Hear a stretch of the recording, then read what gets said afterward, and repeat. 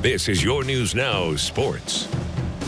Good evening, everyone. Tyler Segerman here with you. 5,500 athletes from across the country will converge to Florida this week and compete in the 2022 Special Olympics. Hardly an easy invent, invent rather, to be invited to, yet Ashley Reindel will be among the field representing Putnam County in three different events. Our Tony Quach caught up with the soon-to-be USA Games competitor and has more.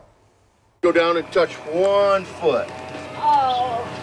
Putnam County's very own Ashley Reindel will compete in the 2022 Special Olympics USA Games. These are the three events she will take part in. The mini javelin, uh, the 100 meter walk, and the 400 meter walk. Ashley, much like her mother Joanne, was stunned to find out she would be going to Orlando, Florida to compete on the national stage. My my first reaction was like, "What?" The, mm, my words were like, uh, mm, things that I can't really say on camera, like, Sh- "Shut up." I just was unbelievable. I just couldn't imagine her qualifying for all that stuff. And I thought, this is the first time we've had anybody from Special Olympics from Putnam County to go to nationals. So it's very exciting.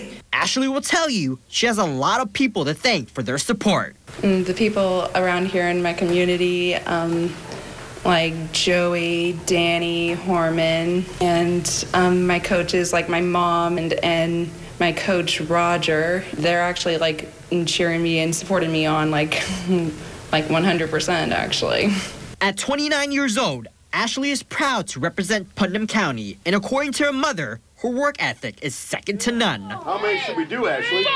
She just, she does her best. She tries hard. She keeps practicing all the time. When she found out, she just started practicing. She says, I got to do good. I got to do good. It's just that I got to win attitude. I just can't wait to see her compete. In Ottawa, Tony Quach, your News Now Sports. Thanks, Tony.